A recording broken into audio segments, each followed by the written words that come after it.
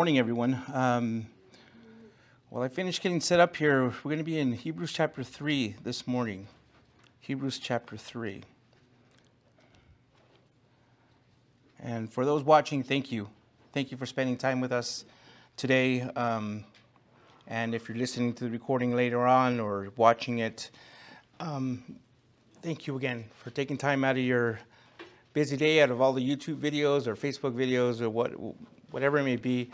Thank you for taking the time to, to check us out. We hope that you will have been blessed and the Lord will have spoken powerfully to you after this message. Um, and if He has, please let us know. And I'll give you more information on that after today's message. But as I've you've heard me say before many many times, I believe all of you, Lord has all of you here for a reason. Um, and, you know, if you really are open to the Holy Spirit this morning, He will speak powerfully to each and every one of you. Um, so I've titled today's message, Jesus is greater than Moses. Jesus is greater than Moses. We'll be in Hebrews chapter 3.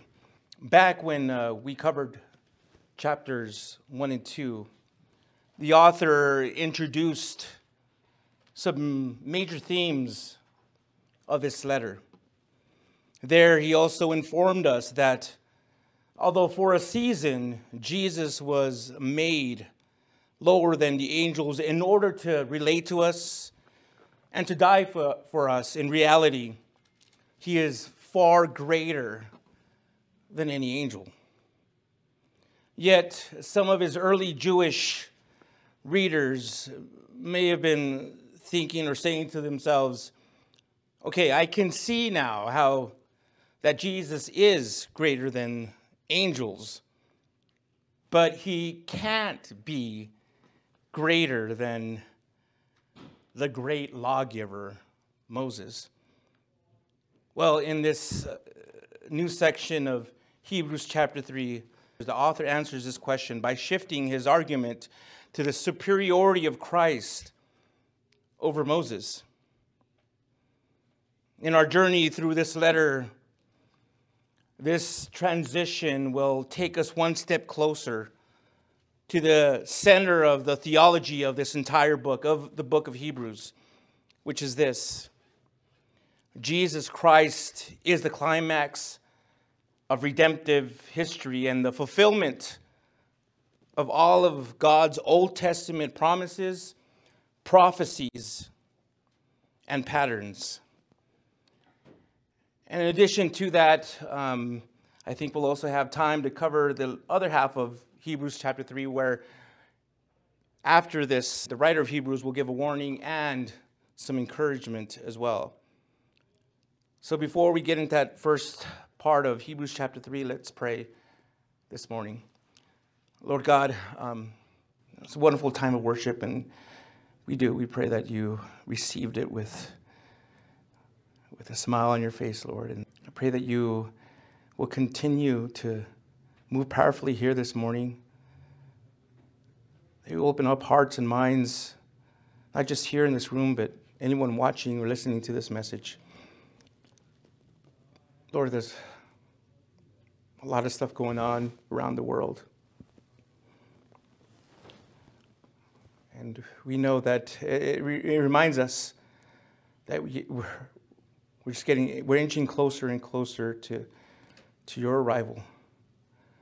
When finally be face to face with you, Lord, and you will usher in your heavenly kingdom. We don't fear in that, Lord. We don't have fear of that. We, we actually, that gives us hope because what you offer is a lot better than what this world will ever offer. So, as I said, Lord, I pray that you will fill this room with your spirit. Use me as your instrument, Lord, to speak your truth unashamedly and boldly. And may we continue to glorify you now in this time. Pray this in the name of your Son, Jesus Christ. Amen. All right, Hebrews chapter 3, verse 1. And there the Word of God says, Therefore, holy brothers and sisters who share in a, in a heavenly calling, consider Jesus, the apostle and high priest, the apostle and high priest of our confession. He was faithful to the one who appointed him, just as Moses was in all God's household. household. For Jesus is considered worthy of more glory than Moses, just as the builder has more honor than the house. Now, every house is built by someone, but the one who but the one who built everything is God. Moses was faithful as a servant in all God's household as a testimony to what would be said in the future. But Christ was faithful as a son over his household. And we are that household if we hold on to our confidence and the hope in which we boast. Now, similar to what we saw in chapter 2, verse 1, with for this reason, the word therefore here in verse 1 connects what the author had just said and what he is about to say, which is basically this. In light of the great salvation provided, consider Jesus. He is the merciful and faithful high priest who has tasted death for everyone and is the source of our, the source of our salvation. He therefore deserves our full consideration. But before he gets into the details of his next point, the author here identifies his readers as holy brothers and sisters and those who share in the heavenly calling. This form of address, what it does now, it brings together into proper perspective the words that he brought up in chapter 2, verses 10 and 11. You see, as believers, we're indeed brothers and sisters, not only with one another, but with Jesus, our source of salvation. And we're all holy because he has made us so. We also now share in the heavenly calling because God is bringing us to glory.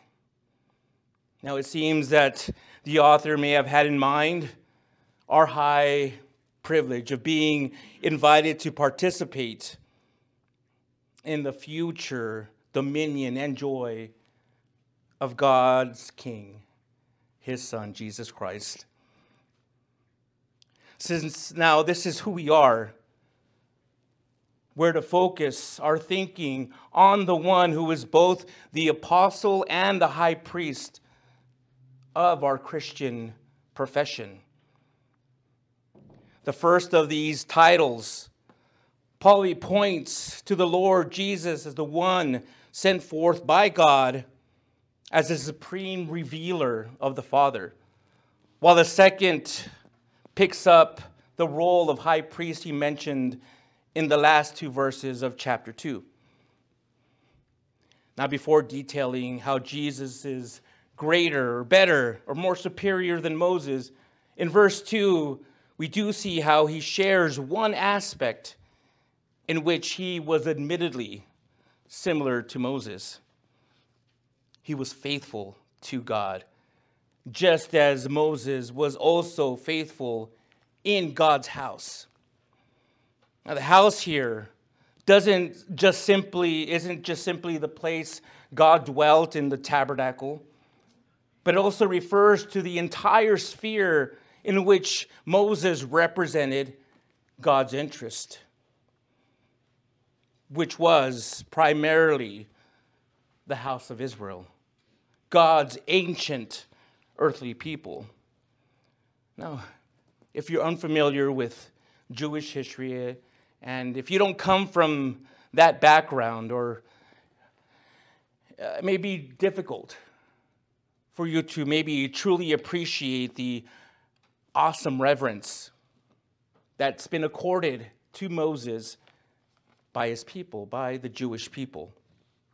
See, to this day, he's revered as probably the greatest of all Hebrews and probably the greatest man of history. Now, this here is important to understand. If anyone really wants to get anything or anything from the message the Holy Spirit is saying in this chapter, and I'll tell you why. First, we must understand that Moses was divinely chosen for this epic task. His life was miraculously preserved and nurtured from birth uh, when he was actually plucked out of the from the reeds or whatnot by Pharaoh's daughter and given a noble upbringing with his real mother attending him as a nursemaid.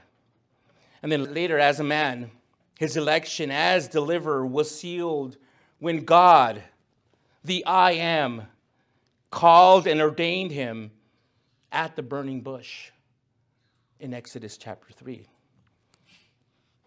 Second, Moses became the incomparable deliverer of his people through an unparalleled parallel display of power. Exodus chapter 7 through 12 tells us that the Nile turned to blood. Successive plagues of frogs, gnats, and flies swarmed upon Egypt. Hail and boils afflicted man and beast. And on the dark night of Passover, all firstborn, the firstborn of man and beast, who were not under blood, died. With his staff, Moses parted the Red Sea, and the people passed through. And with that very same staff, he hit the rock, and all Israel drank. These stories and others show that delivering power radiated from Moses' life. Third, he served as Israel's greatest prophet. God communicated to the prophets indirectly through various means, but he communicated directly to Moses as God himself explained in Numbers chapter 12, verse 6 through 8. And there it says, If there is a prophet among you from the Lord, I make myself known to him. In a vision, I speak to him in a dream. Not so with my servant Moses. He is faithful in all, in all my household. I speak with him directly, openly, and not in riddles. He sees the form of the Lord. In fact, this is how it was when Moses received the Ten Commandments. There in Exodus chapter 34, we see that his exposure to God was so profound, was so great, that his face retained a wonderful radiance.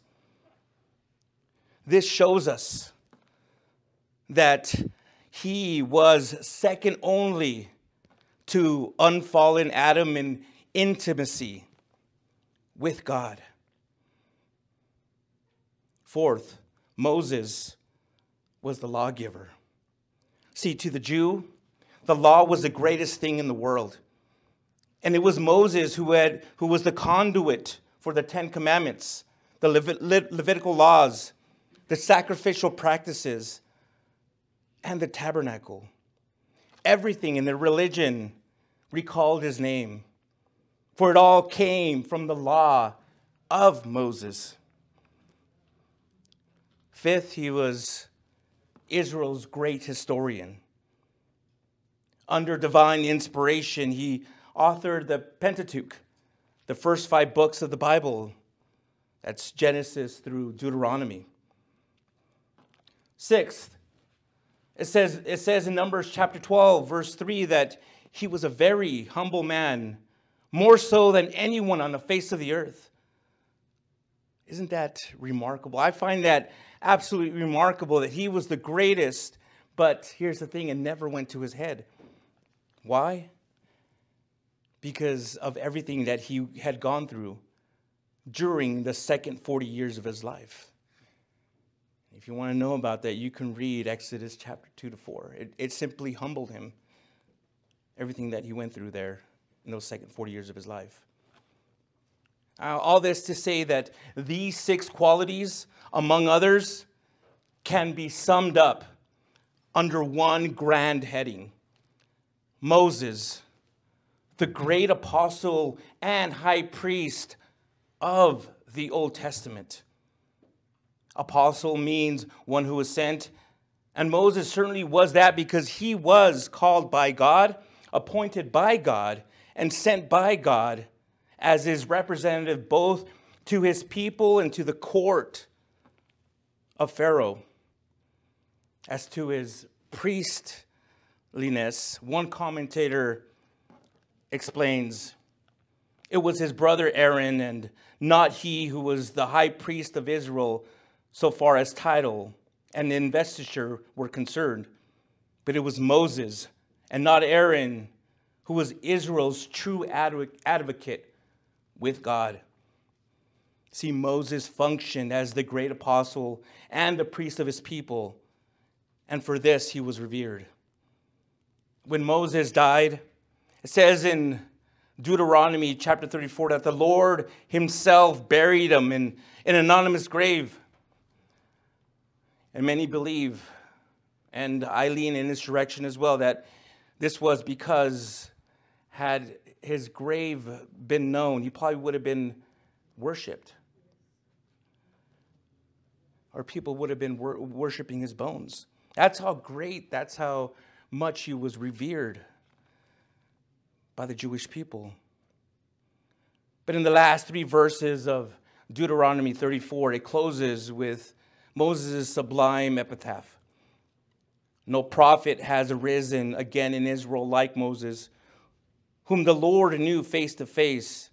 He was unparalleled for all the signs and wonders the Lord sent him to do against the land of Egypt, to Pharaoh, to all his officials, and to all his land, and for all the mighty acts of power and terrifying deeds that Moses performed in the sight of all Israel. So you see, to the Jews, Moses was simply the greatest. He was the goat, the greatest of all time. But it's there where the similarity ends. In the next few verses, the author shows us how, in every other respect, Jesus is vastly superior to Moses.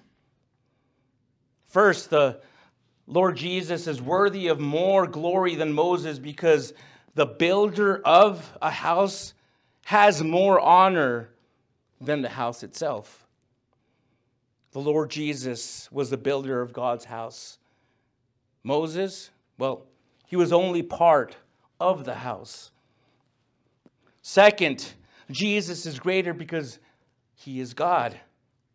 In verse 4, it says, Every house is built by someone, but the one who built everything is God. Now, if you look at John chapter 1, verse 3, Colossians chapter 1, verse 16, and Hebrews here in Hebrews chapter 2 and Hebrews chapter, well, Hebrews chapter 1, verses 2 and 10, all those verses show us that the Lord Jesus was an active agent in creation. So you see, the conclusion is therefore unavoidable Jesus Christ is God. The third point is that Christ is, is greater as a son. In verse 5, we're told that Moses was a faithful servant in all God's house, pointing men forward to the coming Messiah. He testified of those things which would be spoken about in the future that is the good news of salvation in Christ. This is why Jesus said in John chapter 5 verse 46, if you believed Moses, you would believe me, for he wrote about me. We also see in Luke chapter 4 verse 27 that in his uh, discourse with the disciples on the road to Emmaus, beginning with Moses and all the prophets, he, that is Jesus, interpreted for them the things concerning himself in all the scriptures. So, moving on in the first part of verse 6 in our passage, the writer goes on to say, But Christ was faithful over God's house as a son. As a son, not as a servant like Moses. Now, by this point, it should be clear that in his case, sonship means equality with God. And so, God, uh, God's house is his own house. In the second part of verse 6, the writer explains what is meant by God's house today. It's composed of all true believers in the Lord Jesus. We're all, we are that household if we hold on to our confidence and the hope in which we boast. Now, at first, this may, might seem to imply that our salvation is dependent on our holding fast, on our just enduring. But if that were the case, our salvation would be, uh, would be by our endurance rather than by Christ's finished work on the cross. However, the true meaning is that we prove we're God's house if we hold fast. Endurance, endurance, my friends, is proof of reality. This is the message of the remainder of Hebrews chapter 3. There, the author will exhort God's people to endure. And so let's go there now by picking up in verse 7. And I will read all the way to the end. Hebrews chapter 3, verse 7. Therefore, as the Holy Spirit says, Today, if you hear his voice, do not harden your hearts as in the rebellion. On the day of testing in the wilderness, where your fathers tested me, tried me, and saw my works for 40 years. Therefore, I was provoked to anger with that generation and said, They always go astray in their hearts, and they have not known my ways. So I swore in my anger, they will not enter my, my rest. Watch out, brothers and sisters, so that there won't be any of, any of you an evil, unbelieving heart that turns away from the living God. But encourage each other daily while it is still called today so that none of you is hardened by sin's deception. For we have become participants in Christ if we hold firmly until the end the reality that we had at the start. As it is said, Today, if you hear his voice, do not harden your hearts as in the rebellion. For who heard and who rebelled? Wasn't it all who came out of Egypt under Moses? With whom was God angry for for 40 years? Wasn't it with those who sinned, whose bodies fell in the wilderness? And to whom did he swear that, that they would not enter his rest, if not to those who disobeyed? So we see that they were unable to enter because of unbelief.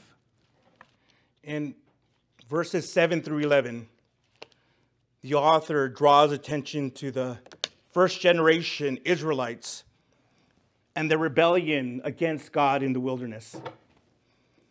He reminds them that God, that God warned those, warned those Israelites to endure in their faith, but many of them failed, and they failed miserably. Instead of trusting in the one who rescued them out of slavery, they provoked God and were shut out of the promised land. Now, those of you who are familiar with the story know that it was a dreary record of complaint, lust, idolatry, unbelief, and rebellion. At Rephidim, for instance, they complained because of the lack of water and doubted God's presence in their midst. At the wilderness at Paran, of Paran, when the unbelieving spies returned with an evil report of discouragement and doubt, the people decided they should go back to Egypt, the land of their slavery. Well, God was so highly incensed that he decreed that the people should wander in the wilderness for another 40 years. Of all those soldiers who came out of Egypt, who were 20 years or older, only two would ever enter the land of Canaan. You know who they were? Caleb and Joshua.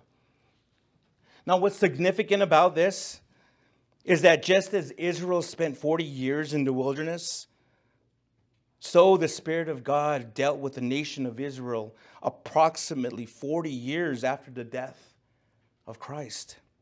The nation hardened his heart against the message of Christ. In AD 70, Jerusalem was destroyed and the people were scattered among the Gentile nations. That's what's so significant here. It's, you can see the parallel. So continuing his use of Psalm 95, verse 10 shows them, shows these early, or shows this, these uh, the Jews that uh, it shows them that God's keen displeasure with Israel in the wilderness brought forth stern denunciation. He accused them of perpetual proneness to wander away from him and of a willful ignorance, a willful ignorance of his ways. Then in verse 11, in his wrath, he swore that they would not enter his rest, that is the land of Canaan, the promised land. Verses 12 through 15 give the application which the Holy Spirit draws for for us from Israel's experience. As elsewhere in Hebrews, the readers are addressed as brothers and sisters. Now, this doesn't mean that they were all true Christians. So, all who profess to be believers, all of us, all, all you who have confessed Jesus Christ as Lord and Savior, should be constantly on guard against those of, uh, that have a heart of unbelief. Well, then in verse 13, one, we're given one antidote as uh, it's a mutual, and that one antidote is mutual encouragement. Especially in the last days of, in the days of difficulty and distress, God's people should be daily urging others not to forsake Christ for religions that cannot deal with sin effectively. Notice that this exhortation is not limited to, this, to just those in ministry, but it's a duty. It's the duty of all believers. It's the duty of you and me. It should continue as long as it's called today. That is, as long as God's offer of salvation by grace through faith continues.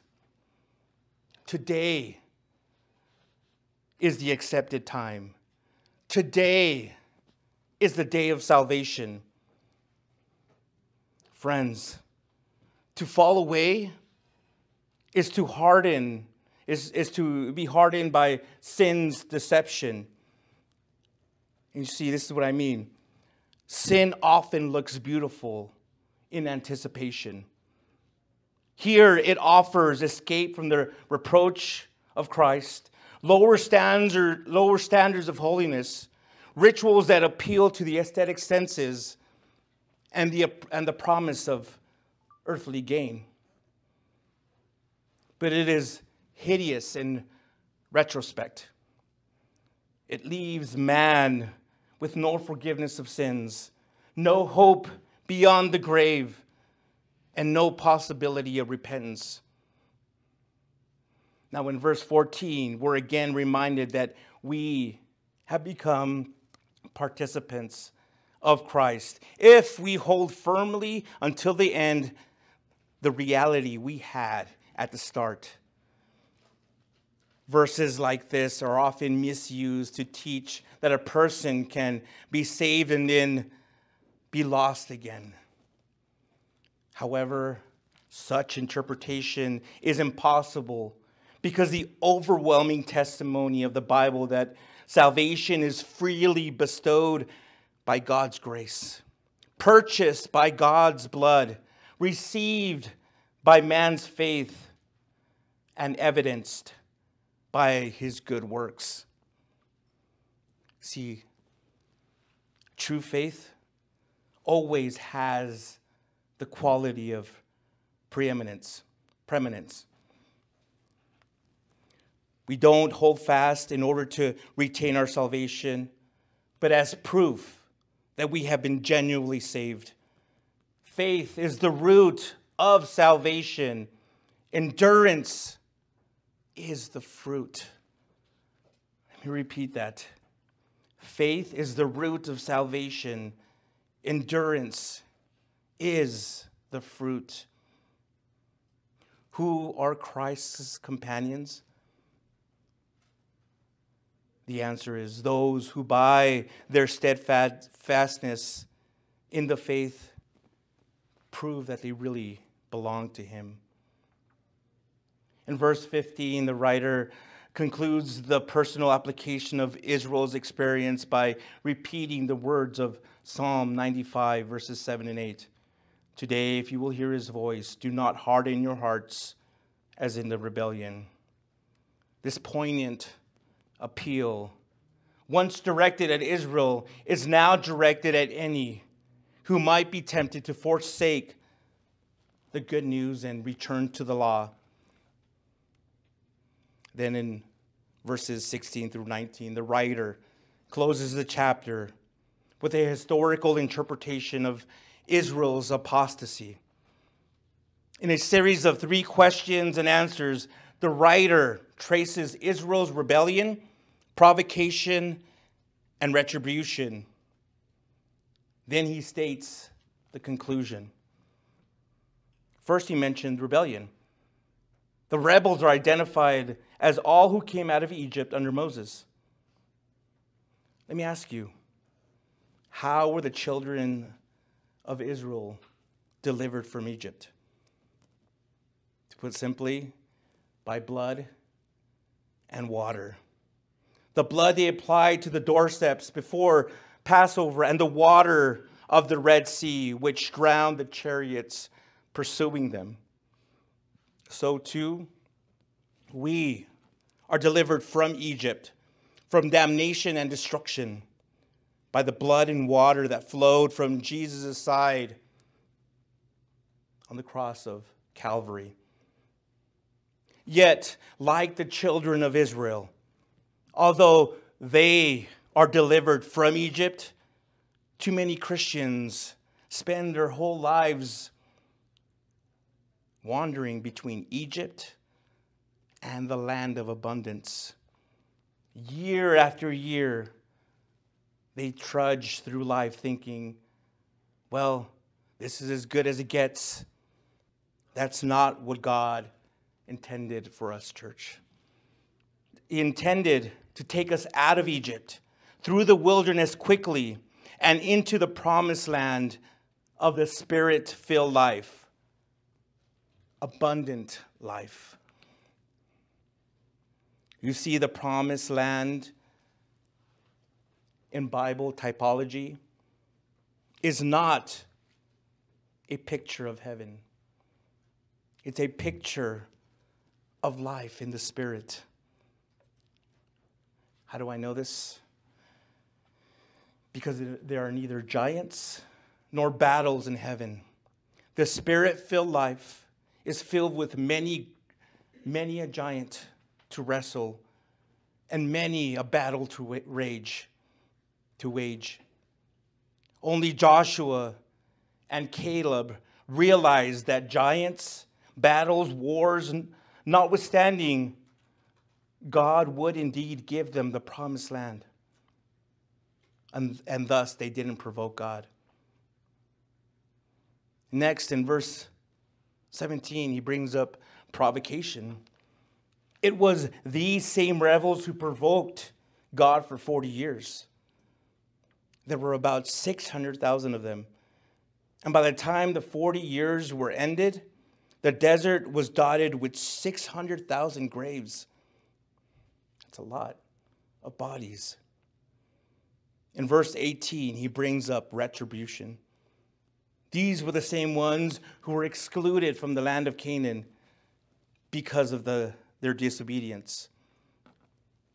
The simple recital of these questions and answers should have a profound influence on any who might be tempted to leave the despised minority of true Christians for the vast majority of people who have an outward form of religion but deny the power of Christ, deny the power of godliness. Is the mass majority always right? In this chapter of Israel's history, only two were right, and over half a million were wrong. Do you understand? Do you, that, does that get to you? Do you get it? Bible commentator A.T. Pierson emphasized the seriousness, seriousness of Israel's sin as follows Their unbelief was a fourfold provocation.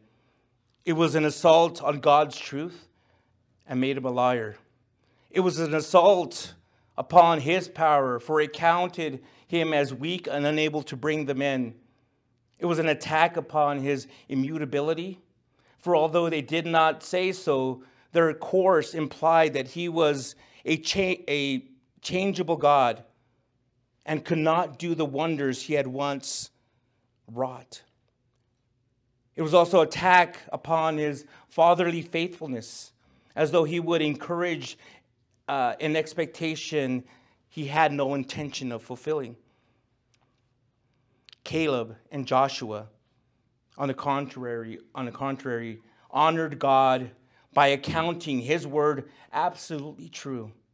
His power infinite, his disposition unchangingly gracious, and his faithfulness as such that he would never awaken any hope which he would not bring to fruition. And so finally, the writer concludes by saying in verse 19 that it was unbelief that kept the rebellious children out of the promised land. And it was unbelief that keeps man out of God's inheritance in every dispensation. Jesus reminded us in the parable of the soils with the seeds cast on stony ground and among thorny and among thorns that it is not enough. It is not enough to make a good beginning. Real belief, ladies and gentlemen, preserves to the end. It's not enough just to have a good beginning. It's wonderful to make a good start, but how we finish is even more important than how we start. Again, listen carefully to this. In his book, The Screwtape Letters, and if you haven't read that letter, I recommend it. It's a great book. C.S. Lewis speaks to the difficulty of persistence from a tempting demon's fictional perspective. The enemy has guarded him from you through the first great wave of temptation. But if only he can be kept alive, you have time itself. You have time itself for you, for you, ally. The long, dull, monotonous years of middle aged prosperity or middle aged adversity are excellent campaigning weather. You see, it is so hard for these creatures to persevere the routine of adversity, the gradual decay of youthful love, loves and youthful hopes, the quiet despair, hardly felt his pain of ever overcoming the chronic temptations with which, with, we, with which we have again and again defeated them. The drabness which we create in the lives and our inarticulable resentment with which we teach them to respond to respond to it. All this provides admirable opportunities of wearing out a soul by attrition. If, on the other hand, the middle years from prosperous, our position is even stronger. Prosperity knits a man to the world. He fails, he fails that he is finding his place in it, while really it is finding its place in him. That is why we must often wish long life to our patients. 70 years is not a day too much for the difficult task of unraveling their souls from heaven and building up a firm attachment to the earth. My friends, church, the moral is clear. Beware of the evil heart of unbelief if we enter into God's rest, then in the coming years, then the coming years will only increase our trust and reliance on Jesus. If by unbelief we fail to enter it, enter in, then the coming years will only gradually draw us away from a passionate, trusting relationship with Jesus. Now, before I end here, before I close, I want to go back a second again and ask you to take another look at the question that was asked in verse 18. To whom did God say, You shall not enter my rest? When I first read this, I would have thought that it would have been those who worshiped idols or those who didn't have their morning devotions. I would have thought that it would have been the immoral men or those who didn't offer sacrifices.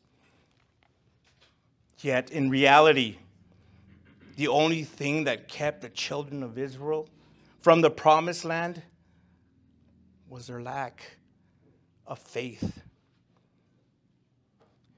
This here is critically important theology. Why?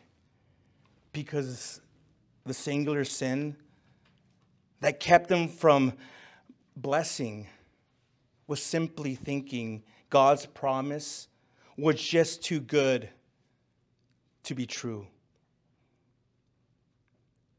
Singular sin, because the singular sin that kept them from blessing was simply thinking God's promise was just too good to be true. Precious friends, you can live the abundant, spirit filled, successful, exciting, thrilling Christian life if instead of thinking that God can't bless you because you haven't been to Bible study, because you've been yelling at your husband or because you've had morning, or because you haven't had the morning, morning devotions regularly, you say, I'm spiritual, I'm a spiritual grasshopper, Lord. But if you want to bring me into this great land of blessing, I'll gladly go in. But let me point out again that the sin of Hebrews chapter 3 is singular. It's not fornication. As destructive as that sin may be, it's not idolatry, as sad as that sin is. Rather, it's believing, it's not believing how good God is. A pastor uh, shared this story that I now want to share with you. And this is again the pastor speaking. When he came home from Bible, from Bible school, my son Peter John shared with me how passionate he and his friends were about seeing their generation brought to the kingdom.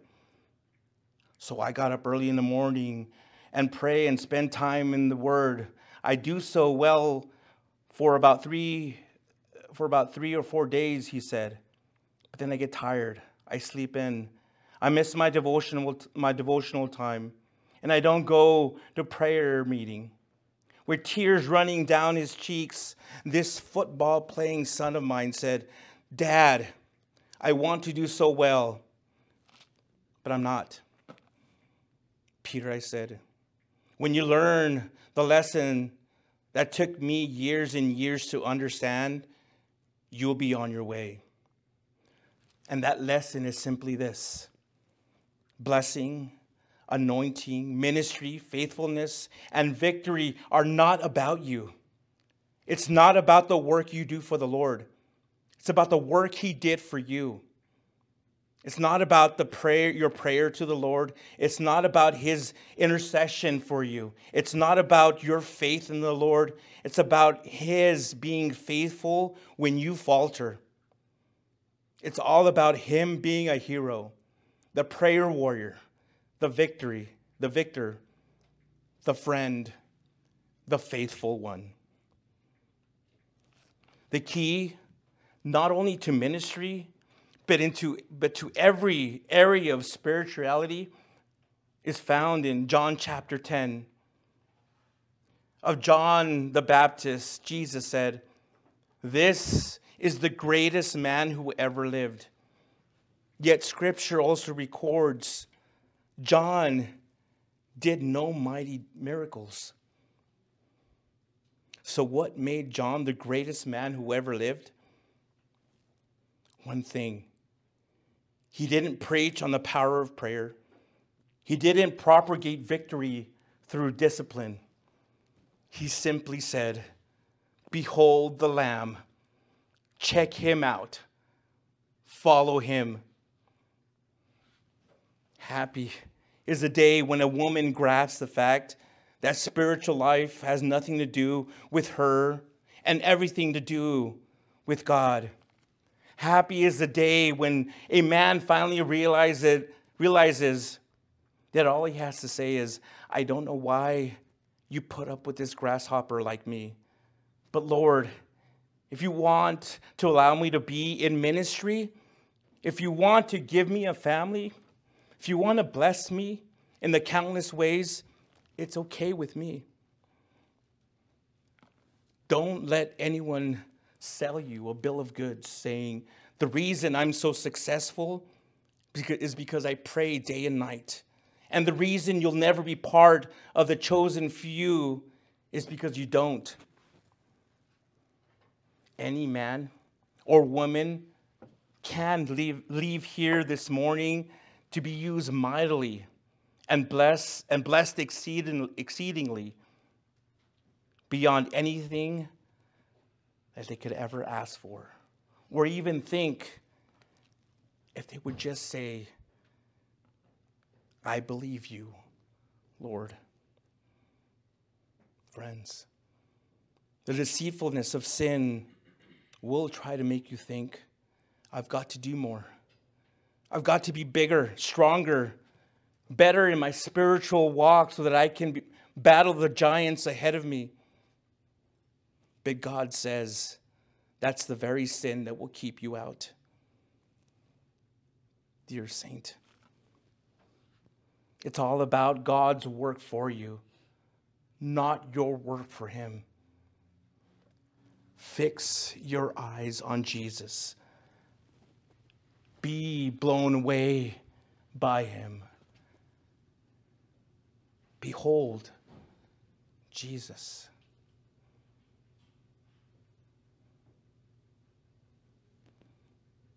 Those of you watching and listening this morning, it's a powerful message here. If you've lived your entire life thinking that you have to do all these things in order to gain God's approval, in order to enter into God's kingdom, you're mistaken. God has done all the work already. Jesus died for you on the cross. And all you have to do is come before him. and lay your sins before that cross, and He will freely forgive you no matter how bad you've blown it.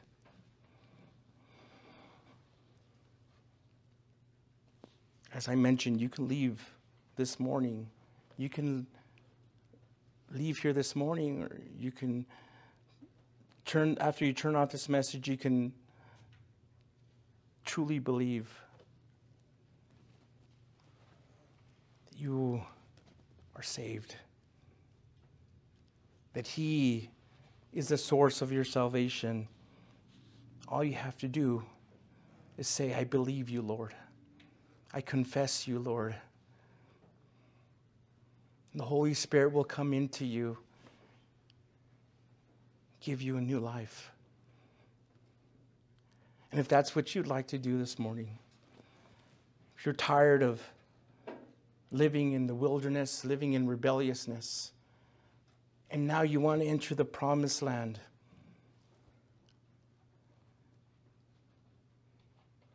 I want to lead you in a prayer to do that. So, wherever you're at, I want you to close your eyes and bow your head.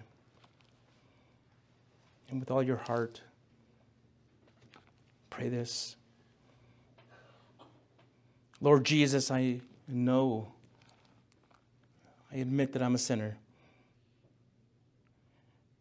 And now I ask you to forgive me.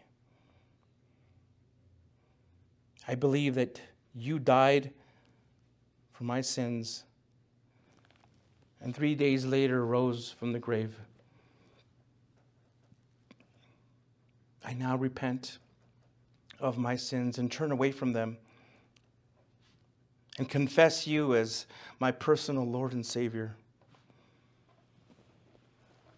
Thank you for dying for me. Thank you for saving me. And so now I ask you that you fill me with the Holy Spirit so that He may help guide me, teach me, and show me.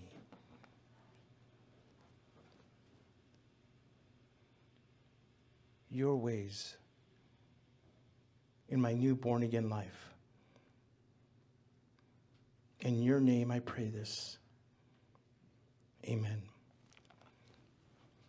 If you prayed, sincerely prayed that prayer, welcome to the family of God. You're, you're now born again, and angels are celebrating now up in heaven for you. We want to hear about it. We want to know that you prayed that, and we want to maybe lead you in your next steps in your Christian walk, walk and help you find a church. Maybe if you're in the area, we'd like to invite you here where you'll be welcomed with open arms. Um, and here you'll continue to grow in the Lord. So if you're in the area, we're in the corner of Hondo Pass and Gateway South here in Northeast El Paso, Texas. Um, again, you'll find all that information on our website. For those watching and listening, thank you for joining us this morning. We hope that you were blessed. If you have any questions, again, reach out to us. And We'll try to answer them as soon as possible. Wherever you may be, continue to be the salt and light in your communities, in your homes, in your schools.